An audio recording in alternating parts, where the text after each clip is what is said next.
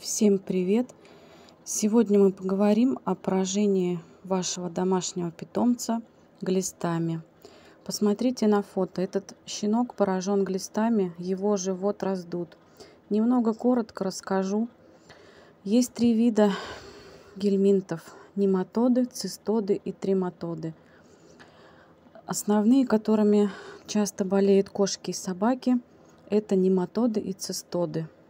Они они поражают кишечник, печень, кровеносные сосуды, сердце и органы дыхания. Для заражения глистами достаточно проглотить пыль с вашей обуви или проконтактировать с другим животным, получается зараженным.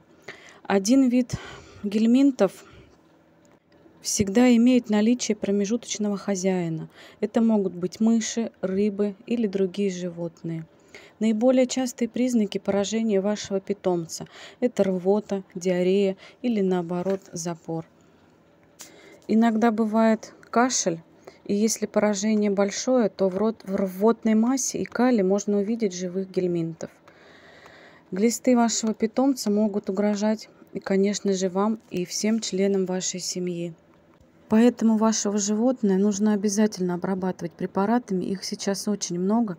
Обязательно нужно дозировать по весу.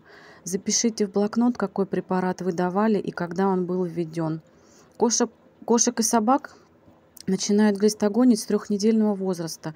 Котят и щенков до, до полугода глистогонят один раз в месяц, а начиная с полугода один раз в квартал. Не давайте вашим питомцам сырое мясо и рыбу. И даже если нет никаких признаков, регулярно давайте препараты своей собаке, даже если она не ходит на улицу. Сейчас очень большое количество разных препаратов, которые обязательно вам подойдут. Есть таблетки, есть суспензии, которые очень легко давать своим питомцам. Обязательно найдете то, что вам нужно. После обработки животного обязательно продезинфицируйте его место обитания. То есть, если вы в, квартире, обработайте все его лежанки игрушки и все то, что можно обработать, где находился ваш щенок.